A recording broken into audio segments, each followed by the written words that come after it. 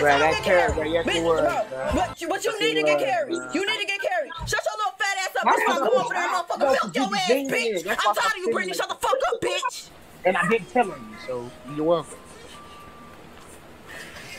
What you talking about? Ooh, man. Get your dog.